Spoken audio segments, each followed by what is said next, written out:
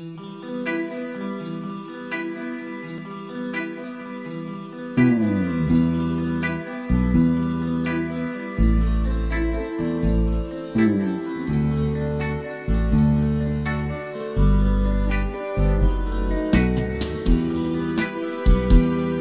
の頃とても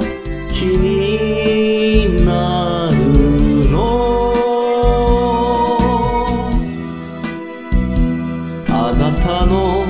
周りの小さなことが愛し合う二人には恋の予感が嬉しくて花を摘む草原に秋の日差しが眩しく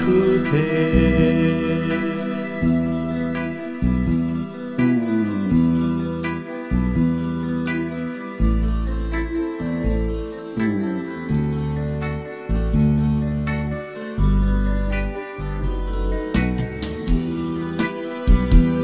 黙っていると気になるの。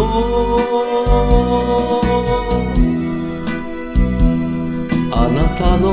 周りの小さなことが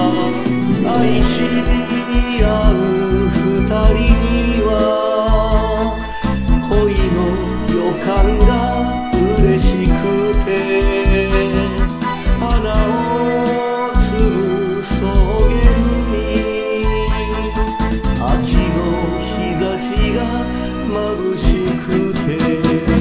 愛し合う二人には恋の予感が嬉しくて花を摘む草原に秋の日差しが眩しくてラララ